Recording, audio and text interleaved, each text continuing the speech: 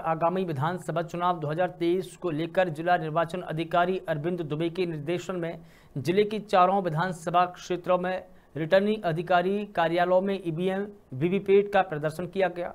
वहीं राजसेन में कलेक्ट्रेट कार्यालय परिसर में उप जिला निर्वाचन अधिकारी अमृता गर्ग की उपस्थिति में विभिन्न राजनीतिक दलों के पदाधिकारियों के समक्ष में ईवीएम वीवीपैट का प्रदर्शन किया गया। इस दौरान अनेक पदाधिकारियों ने ईवीएम का बटन दबाकर वीवीपैट में सात सेकंड के लिए पर्ची दिखाई देने की प्रक्रिया को देखा। साथ ही ज़िले में प्रचार रथ के माध्यम से स्वीप अंतर्गत दीवार लेखन, रैली, रंगोली आदि के माध्यमों से भी मतदाता जागरूकता का संदेश दिया।